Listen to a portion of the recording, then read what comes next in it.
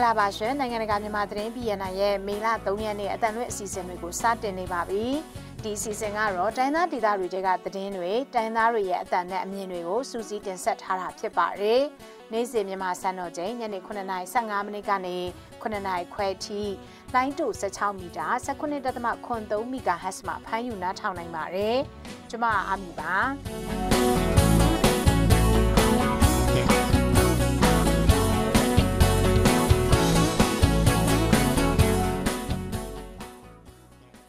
နေ့သတင်းတွေထဲမှာတော့ဂရနီအမျိုးသားတူတက်ရေးပါတီက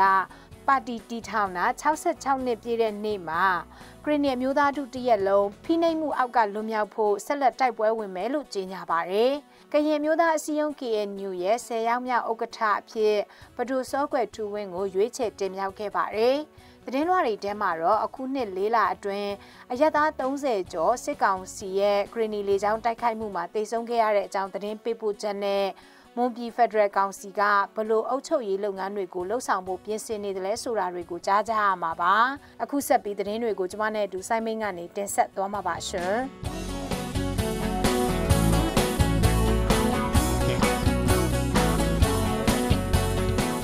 မနေ့ကကြားရောက်တဲ့ကရင်မျိုးသားတိုးတက်ရေးပါတီ KNDB တီထောင်ချင်း66နှစ်ပြည့်နှစ်မှာကရင်မျိုးသားထုတရက်လုံးဖိနှိပ်မှုကနေလွတ်မြောက်ဖို့ဆက်လက်တိုက်ပွဲဝင်သွားမယ်လို့ပြောကြားလိုက်ပါတယ်။ကရင်မျိုးသားထုတရက်လုံးဖိနှိပ်ချုပ်ချယ်မှုကနေလွတ်မြောက်ပြီးတရားမျှတရေးနဲ့ကိုပိုင်ပြဋ္ဌာန်းခွင့်အပြည့်အဝရှိတဲ့ Federal ပြည်ထောင်စုနိုင်ငံတော်ဒီစောင့်နိုင်တဲ့အထိခုခံတော်လှန်ရေးတိုက်ပွဲကိုဆက်လက်ဆင်နွှဲသွားမယ်လို့ကရင်မျိုးသားတိုးတက်ရေးပါတီ KNBB အတွင်းရေးမှူးနဲ့ဦးအောင်ဆန်းမင်းကကန်ဒရာဗီတိုင်းကိုပြောပါတယ်။တနင်္ဂနွေလုံးတိုင်းတာနဲ့ပေါ်ပေါက်လာတဲ့အာဏာရှင်စနစ်မှန်သမျှကိုတိုက်ဖြတ်ရေးနဲ့ Federal Democracy ပြည်ထောင်စုတည်ဆောက်နိုင်ရေးတိုက်ပွဲမှာ KNPP ဟာတော်လှန်နေတဲ့ပြည်သူတရက်လုံးဘက်ကရက်တီပြီး ဂရီနီယမျိုးသားထုတရက်လုံးဖိနှိပ်ချုပ်ချယ်မှုလွတ်မြောက်ဖို့အတွက်ခုခံတော်လှန်ရေးတိုက်ပွဲကိုဆင်နွှဲနေလျက်ရှိတယ်လို့လည်းပြောပါတယ်။နိုင်ငံရေးဥတီချက်ချမှတ်ပြီးနှစ်ပေါင်း80ကျော်လက်နက်ကင်တိုက်ပွဲဝင်ခဲ့ပြီးနိုင်ငံရေးရည်မှန်းချက်ပြေဝအောင်လဲစစ်ကောင်စီအာဏာမသိမ်းခင်ကတည်းကနိုင်ငံရေးတွေ့ဆုံဆွေးနွေးပွဲကို KNPP ကအကြိမ်ကြိမ်ညှိနှိုင်းအပြေရှားခဲ့ကြပေမဲ့အခြေခံအချက်တွေကိုဆွေးနွေးမှုမရရှိခဲ့ဘူးလို့ဦးအောင်စမ်းမင်းကပြောပါတယ်။ ကရင်မျိုးသားအစည်းအရုံး KNU ရဲ့18ကြိမ်မြောက်ဗဟိုကွန်ဂရက်ရွေးကောက်ပွဲကိုမနေ့ကမေလ2ရက်နေ့အထိဆက်လက်ကျင်းပရမှာ10ရောက်မြောက်ဥက္ကဋ္ဌအဖြစ်ဗဒိုစောကွယ်ထူဝင်းကိုမဲပေးရွေးချယ်လိုက်ပါတယ်။18ကြိမ်မြောက် KNU ရဲ့ကွန်ဂရက်ကိုဧပြီလ24ရက်နေ့ကစတင်တာဖြစ်ပြီး KNU ထိန်းချုပ်နယ်မြေတနေရာမှာကျင်းပခဲ့ပါတယ်။ခရိုင်တပ်မဟာ9ခုကကိုယ်စားလှယ်100ကျော်ပါဝင်တက်ရောက်ခဲ့ပြီး ကိုယ်စားလှယ်56ယောက်ဝင်ရောက်အရွေးခံခဲ့ကြတာဖြစ်ပါတယ်။ရှစ်ကြိမ်မြောက်ကွန်ဂရက်ကိုရောက်မှခေါင်းဆောင်အသစ်ကိုလျှို့ဝှက်မဲပေးစနစ်နဲ့ရွေးချယ်ကြရမှာအရင်ကဒုဥက္ကဋ္ဌတာဝန်ယူခဲ့သူဘဒူစောကွယ်ထူဝင်းကိုဥက္ကဋ္ဌအဖြစ်မဲပေးရွေးချယ်နိုင်ခဲ့တာဖြစ်ပါတယ်။ ကွန်ဂရက်မှာအဖွဲ့အစည်းရဲ့ကြီးငါးကြီးကနေအမြင့်ဆုံးရာထူးဖြစ်တဲ့ဥက္ကဋ္ဌနေရာကိုဘဒူစောကွယ်ထူဝင်းကိုရွေးချယ်ခဲ့ပြီးကြံတူဥက္ကဋ္ဌအထွေထွေအတွင်းရေးမှူးချုပ်တွဲဖက်အတွင်းရေးမှူးတင်နဲ့နှစ်တို့ကိုတော့လာမယ့်ရက်တွေမှာဆက်လက်ပြီးတော့ရွေးချယ်တင်မြှောက်သွားကြမှာဖြစ်ပါတယ်။ KNU ဗဟိုရဲ့ကွန်ဂရက်ကိုတပ်မဟာ9ခုစလုံးကကိုယ်စားလှယ်တွေတက်ရောက်ခဲ့ကြပြီးတောင်ငူခရိုင်တပ်မဟာ2နဲ့မူဒရော်ခရိုင်တပ်မဟာ9တို့ကကိုယ်စားလှယ်တွေကတော့ပါဝင်တက်ရောက်ဆွေးနွေးခဲ့ကြပေမဲ့ခေါင်းဆောင်တစ်ရွေးချယ်တင်မြှောက်မှုကိုတော့ဝင်ရောက်မဲပေးခြင်းနဲ့ရွေးကောက်ခံခြင်းမပြုလုပ်ခဲ့ကြပါဘူး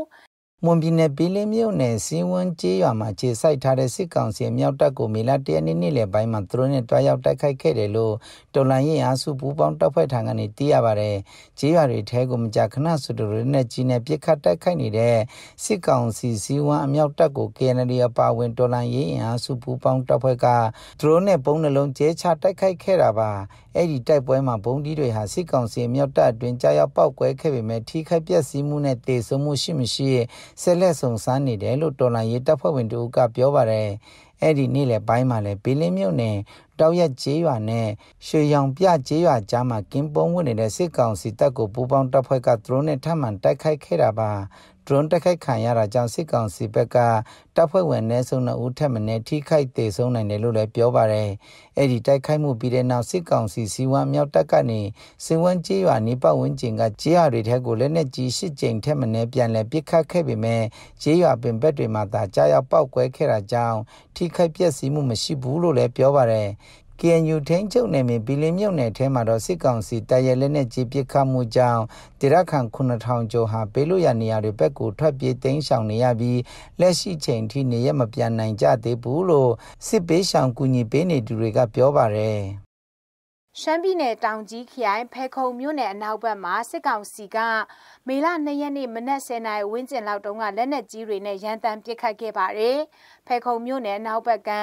လက်ဤကျေးရွာဘက်မှာစစ်ကောင်စီတပ်ကလက်နက်ကြီးတွေနဲ့အဆက်မပြတ်ရန်တမ်းပစ်ခတ်ခဲ့တာဖြစ်တယ်လို့ဖဲခုံမြို့နယ် PDF တပ်ဖွဲ့ဝင်တယောက်ကပြောပါတယ်။စစ်ကောင်စီရဲ့လက်နက်ကြီးတွေနဲ့ရန်တမ်းပစ်ခတ်မှုတွေကြောင့်ဖဲခုံမြို့နယ်အနောက်ဘက်ပိုင်းမှာရှိတဲ့နေအိမ်တချို့ထိခိုက်မှုတွေရှိနေတယ်လို့ဖဲခုံ PDF ကပြောပါတယ်။ ဒါအပြင်စစ်ကောင်စီတပ်ကမိုးပြဲမြို့အပါအဝင်ဖဲခုံမြို့နယ်အတွင်းမှာရှိတဲ့ရွာတွေတဲကိုလက်နက်ကြီးတွေနဲ့နေ့စဉ်ညတိုင်းပြစ်ခတ်တိုက်ခိုက်နေလို့နေအိမ်တွေထဲမှာမနေရကြပဲကရုတ်ကျင်းတွေထဲမှာညအိတ်နေရတယ်လို့လည်းဒေသခံတွေကပြောပါတယ်မေလ၂ရက်နေ့မှာတော့ဒီမော့ဆိုအနောက်ဘက်ချမ်းမှာလည်းစစ်ကောင်စီတပ်ကလက်နက်ကြီးတွေနဲ့အမြောက်များပြစ်ခတ်ခဲ့သေးတယ်လို့ဒေသခံတွေကပြောပါတယ် လက်ရှိမှာလည်းစစ်ကောင်စီတပ်နဲ့ပြည်သူ့ကာကွယ်ရေးတပ်ဖွဲ့ PDF တို့ဖဲခုံမြို့နယ်နဲ့ပင်လောင်မြို့နယ်အဆက်မှာနှစ်လကျော်ကြာတိုက်ပွဲတွေဆက်လက်ပြင်းထန်နေဆဲဖြစ်ပါတယ်။ ကချင်ပြည်နယ်ဖားကတ်မြို့နယ်လုံခင်းကျေးရွာအုပ်စုဥရုချောင်းဘေးကလျက်ကြောက်ကျင်းတူးဖော်နေမှုတွေကြောင့်တွင်းရည်တွေခန်းချောက်ပြီးအနီးပတ်ဝန်းကျင်မှာနေထိုင်တဲ့ပြည်သူတွေတောက်သုံးရပြက်လက်ခဲ့တဲ့ပြဿနာကြုံတွေ့နေရပါတယ်။ပြီးခဲ့တဲ့ဧပြီလစံပိုင်းကစပြီးဖားကတ်မြို့နယ်ကြောင်မြက်လုပ်ငန်းရှင်များတင်းက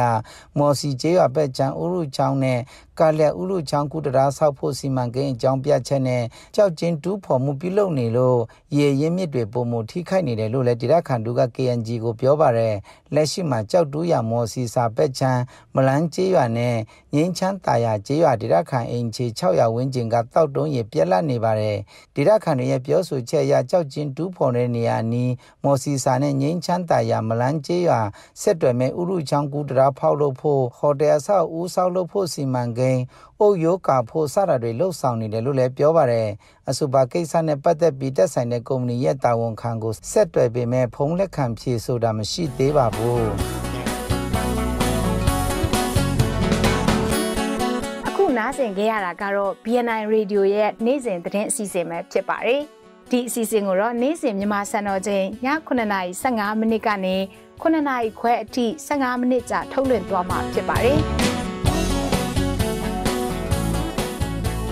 ဆက်ပြီးသတင်းလွှာတွေကိုတင်ဆက်ပေးသွားမှာပါချင်းပြည်နယ်မှာစစ်ကောင်စီတပ်ရဲ့လေကြောင်းတိုက်ခိုက်မှုတွေကြောင့်အရသားပြည်သူတေဆုံးမှုမြင့်တက်လာနေပြီးအခုနှစ်2023ခုနှစ်အတွင်းမှာအရသားပြည်သူ30ကျော်တေဆုံးခဲ့ပြီလို့ချင်းလူခွင့်ရေးအဖွဲ့ CHRO ကပြောပါတယ်အကြောင်းစုံကိုတော့ကိုရောဘတ်ကစူးစီးထားပါတယ်ရှင် ခုခံတော်လှန်စစ်အားကောင်းတဲ့ချင်းပြည်နယ်မှာစစ်ကောင်စီတပ်ဖွဲ့ကအစကနဦးပိုင်းမှာလေကြောင်းထက်မြေပြင်ထိုးစစ်ဆင်တိုက်ခိုက်မှုသာပြုလုပ်ခဲ့ပြီးမြဲ2023နှစ်စမ်းပိုင်းကစလို့လေကြောင်းတိုက်ခိုက်မှုတွေပုံမှုအသုံးပြုလာခဲ့တာကြောင့်အယက်သားပြည်သူတေဆုံးမှုလည်းမြင့်တက်လာခဲ့တာဖြစ်တယ်လို့ CHRO ရဲ့စီမံကိန်းမန်နေဂျာစလိုင်းမန်ခရဲလန်ကပြောပါတယ် ချင်းပြည်နယ်ရဲ့2023ခုနှစ်မှာစစ်ကောင်စီရဲ့လေကြောင်းတိုက်ခိုက်မှုကြောင့်အယက်သားတေဆုံးမှုက33ရောက်ပါတယ်ပြီးရင်တော့ဒဏ်ရာရရှိမှုက80နီးပါးပေါ့နော်အဲ့ဒီ80နီးပါးဒီမှာ90ယောက်ကအာအယက်သားပြည်သူလူထုတွေပေါ့ဟုတ်အာချင်းပြည်နယ်လေကြောင်းတိုက်ခိုက်မှုတိုက်ခိုက်မှုကျွန်တော်ပြောရင်တော့ခြေပုံမှာအာချစ်ပုံလောက်တော့ဗာလေအဲ့ဒီ2023နောက်ပိုင်းမှာတိုက်ခိုက်တာအခုချင်းပြည်လေကြောင်းလေကြောင်းတိုက်ခိုက်မှုအထင်ရနီးပါးရှိနေပြီအဲ့ဒီထင်းမှာအာအကျဉ်ပေါင်းတစ်ကြိမ်က2023မတိုင်ခင်ပဲတိုက်ခိုက်တာအကျဉ်ပေါင်း150ကျော်160ကျော်လောက်ကဒီအခု2023နောက်ပိုင်းမှာတိုက်ခိုက်မှုပေါ့နော်ဟုတ်စစ်ကောင်စီတပ်ဖွဲ့ဟာ2021ခုနှစ်နဲ့2022ခုနှစ်အတွင်းချင်းပြည်နယ်မှာလေကြောင်းတိုက်ခိုက်မှုအကြိမ်20ကျော်သာပြုလုပ်ခဲ့ပြီး2023ခုနှစ်ဇန်နဝါရီလကနေဧပြီလအထိ၄လအတွင်းမှာလေကြောင်းတိုက်ခိုက်မှုအကြိမ်ပေါင်း150ကျော်ပြုလုပ်ကာဘုံအလုံးကြီး300ကျော်ကျဲချခဲ့တယ်လို့ဆိုပါတယ် 2023ခုနှစ်မတ်လနဲ့ဧပြီလထဲမှာတင်စစ်ကောင်စီတပ်ဖွဲ့ဟာလေကြောင်းတိုက်ခိုက်မှုအကြိမ်ပေါင်း90ကျော်ပြုလုပ်ခဲ့ပြီးမတ်လ30ရက်နေ့မှာထန်တလန်မြို့နယ်ခွဖုတ်ကြီးရွာဧပြီလ10ရက်နေ့မှာဖလန်းမြို့နယ်ဝေဘူးလာမြို့ဧပြီလ16ရက်နေ့မှာမင်းတပ်မြို့နယ်တိုက်နယ်အမှတ်1ပန်းပါရွာနဲ့ဧပြီလ29ရက်နေ့မှာထန်တလန်မြို့နယ်တန်လုံးကြီးရွာတို့ကိုတိုက်လေရင်နဲ့ဘုံကျဲခဲ့တာကြောင့်ကလေးငယ်တွေအပါအဝင်အရက်သား23ဦးသေဆုံးခဲ့ပါတယ်စစ်ကောင်စီတပ်ဖွဲ့အနေနဲ့ချင်းပြည်နယ်မှာတော်လှန်ရေးတပ်ဖွဲ့နဲ့အရက်သားသားပြည်သူတွေကိုခွဲခြားမှုမရှိဘဲရွေချက်ရှိရှိလေကြောင်းကနေတိုက်ခိုက်လာတာဖြစ်တယ်လို့စလိုင်းမောင်ထေးလန်ကပြောပါတယ်။ဘာလို့လဲဆိုတော့ထော်လိုင်းရစုတွေကစစ်ကောင်စီတိုက်ခိုက်နေတာဒီပြည်သူတရက်လုံးရဲ့ပိုင်ပို့မှုကြောင့်လို့စစ်ကောင်စီကယူဆတယ်။အဲဒီယူဆတဲ့အတွက်ကြောင့်ပြည်သူလူထုကိုစစ်ကောင်စီကသူတို့ရဲ့ရန်သူတပွဲမြင်တယ်။အဲအကြောင်းမလို့ပြည်သူလူထုနဲ့အဲဒီကာကွယ်တပ်ဖွဲ့တွေကိုခွဲခြားမရှိဘဲနဲ့ဒီလိုတမင်တကာယူချက်ယူချက်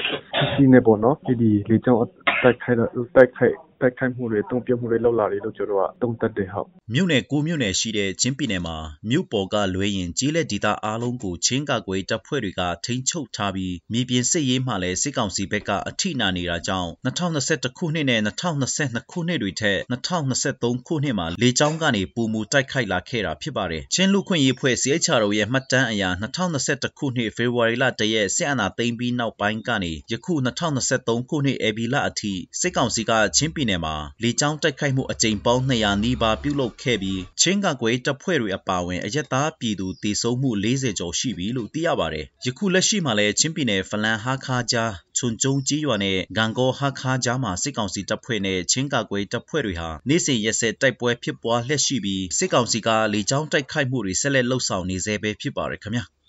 စစ်အာဏာရှင်စနစ်ကိုစန့်ကျင်တဲ့တော်လှန်ရေးအဖွဲ့အစည်းတစ်ခုဖြစ်တဲ့မွန်ပြည်ဖက်ဒရယ်ကောင်စီ MSFC က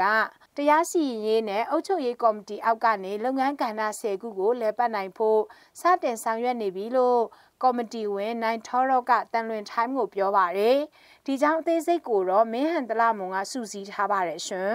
။လုပ်ငန်းကဏ္ဍ10ခုမှာတော့ကာကွယ်ရေးနဲ့တရားစီရင်ရေးပြည်ထရေးကျန်းမာရေး ပညာရေးလူသားချင်းစာနာမှုကူညီရေးမြေယာတယံဇာတတရင်နဲ့ပြန်ချရေးအမျိုးသမီးနဲ့ကလေးငယ်ပြင်ပဆက်ဆံရေးဗန္နာရေးနဲ့ခွန်ကောက်ခံရေးလို့ပါဝင်တယ်လို့သိရပါတယ်။အဲ့ဒီထဲကကာကွယ်ရေးနဲ့တရားစီရင်ရေးမှာတော့မူမီနယ်မှာတော်လိုင်းအင်အားပါဝင်မှုဟာအကောင့်တဲ့အခြေအနေမြောက်နိုင်တည်တဲ့အတွက်အကောင့်တွေပေါ်ဖို့အခက်အခဲရှိနေတယ်လို့နိုင်ထော်ရက်ကဆိုပါတယ်။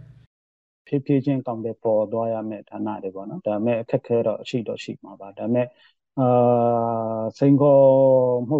အရှိဆုံးလို့ပြောရမယ်ဆိုရင်တော့ကျွန်တော်တို့အမြေပြင်ရဲ့အခြေအနေလည်းကြတော့အခြားဒီပြည်နယ်တွေနဲ့မတူဘူးနော်အခြားတိုင်းဒေသတွေနဲ့လည်းမတူဘူးဥပမာဆိုရင်ပဲခူးအာဗလဲစကိုင်းမကွေးလည်းကြတော့သူတို့ရဲ့အဲတော်လိုင်းရေးအားပါဝင်မှုနဲ့ဒီတော်လိုင်းလက်အင်အားတွေအောင်နိုင်မှုကတော်လေးကိုအားကောင်းနေပါတယ်ကျွန်တော်တို့မှလည်းကြတော့ဒီတော်လိုင်းလက်အင်အားစုတွေကတော့နည်းနည်း အဲဘယ်လိုပြောမလဲအားကောင်းတဲ့အခြေအနေခုထိတော့မရောက်နိုင်သေးဘူးလေဒါပေမဲ့ဘယ်လိုပဲဖြစ်ဖြစ်ဒီအစုဖွဲ့တွေဒီဌာနတွေကအဲလုပ်ငန်းတွေကိုဘယ်လိုပဲဖြစ်လုပ်အကောင့်တွေပေါ်တော့ရမယ်အဲလုပ်ငန်းစဉ်တွေဖြစ်နေအဓိကကခက်ခဲဆုံးလည်းကြတော့ကျွန်တော်တို့တရားဥပဒေအဲဗာလဲတရားစီရင်ရေးကဏ္ဍမှာကျွန်တော်တို့မှာဘယ်ပြောမလဲအဲမြေပြင်အခြေအနေကလည်းအဲခဏမှီနိုင်တဲ့ကာလတစ်ခုဖြစ်နေတော့ အာဒီကော်မတီအနေနဲ့လည်းကြတော့တော်လေးကိုခက်ခဲတွေ့ပါတယ်လုပ်ငန်းကဏ္ဍ10ခုထဲမှာတချို့ကဏ္ဍတွေကိုတော့စုဖွဲ့မှုအခြေအနေရှိနေပေမဲ့အကောင့်တွေဖော်ဖို့ခက်ခဲနေတာဖြစ်ပြီးမူဗီနယ်မှာစစ်အာဏာရှင်စနစ်ကိုစန့်ကျင်နေတဲ့အစုအဖွဲ့တွေကိုလည်းစူးစီးနိုင်ဖို့မူဗီဖက်ဒရယ်ကောင်စီကဖိတ်ခေါ်နေတယ်လို့နဲ့ထောက်တော့ကဆက်ပြောပါတယ်မွန်ပြည်ဖက်ဒရယ်ကောင်စီမှာနိုင်ငံရေးအစုအဖွဲ့တွေအရက်ဘက်အဖွဲ့အစည်းတွေအမျိုးသမီးအင်အားစုတွေပြည်ပရောက်မွန်အစုအဖွဲ့တွေ ပြည်နယ်မှာရှိတဲ့တခြားအတိုင်းအသားအင်အားစုတွေပါဝင်နေတာဖြစ်ပါတယ်။ပြီးခဲ့တဲ့ဇန်နဝါရီလ22ရက်နေ့ကကျင်းပခဲ့တဲ့မွန်ပြည်ဖက်ဒရယ်ကောင်စီရဲ့ပထမအကြိမ်ညီလာခံမှာတော့တော်လိုင်းရေးကာလနဲ့ခြားကာလမှာကျင့်သုံးဖို့အာဏာ၃ရက်ဖြစ်တဲ့ဥပဒေပြုရေးတရားစီရင်ရေးနဲ့အုပ်ချုပ်ရေးအစီအမံတွေကိုချမှတ်ထားပါတယ်။မွန်ပြည်ဖက်ဒရယ်ကောင်စီ MSFC ဟာစစ်တပ်အာဏာသိမ်းမှုအပြီးစတင်ဖွဲ့စည်းခဲ့တဲ့မွန်ပြည်ဂျကာလာပူးပေါင်းဆောင်ရွက်ရေးကော်မတီ MSICC ကနေလက်ရှိနိုင်ငံရေးအခြေအနေအရ မွန်ပြည်ဖက်ဒရယ်ယူနစ်အဖွဲ့အစည်းတရက်လိုအပ်နေတဲ့အတွက်ပြီးခဲ့တဲ့ဇန်နဝါရီလ15ရက်နေ့မှာပြောင်းလဲဖွဲ့စည်းဖို့ဆုံးဖြတ်ခဲ့တာဖြစ်ပါတယ်။မွန်ပြည်ဖက်ဒရယ်ကောင်စီ MSFC ဟာလက်ရှိမှာတော့အမျိုးသားညီညွတ်ရေးအစိုးရ NUG မှာဝန်ကြီး3ဦးနဲ့အမျိုးသားညီညွတ်ရေးအတိုင်ပင်ခံကောင်စီ NUCC မှာကိုယ်စားလှယ်3ဦးပါဝင်နေပါတယ်။